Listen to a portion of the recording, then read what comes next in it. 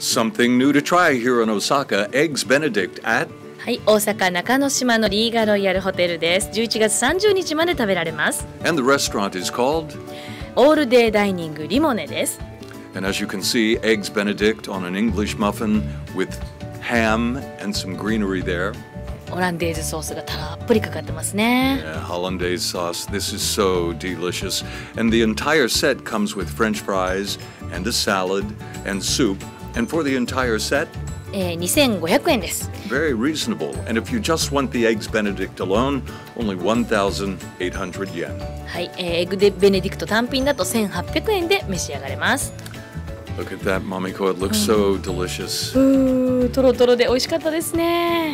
And mm, a very stylish restaurant too, Limone. Lots of room, very simple designs, but、uh, very, very large and spacious. 非常に快適なね、ゆったりとした空間で、外にはテラスもあります。 And of course, they have heaters and blankets out there as well. うん、そうですね。 and Viking style dining as well. 広々としてこちらはプライベートルームですね。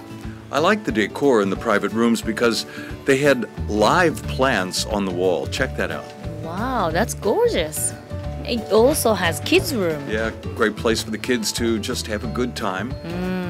そして窓からね、こんな綺麗な風景が見えます。 Yeah, you're looking out into the garden. There's nice woods out there, lots of trees, and a very, well, very stylish restaurant. Right next to this area, there's a little fountain. 本当だ。ね、フファウンテンを見ながらゆっくりとお食事も楽しめます。 once again, there's the Eggs Benedict. Ooh. After lunch or brunch, you can have some coffee.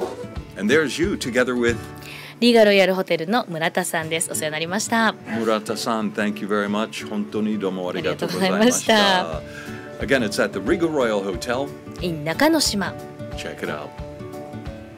And this has been another minute of information about Osaka coming to you from FM Cocolo Nana Lokugo.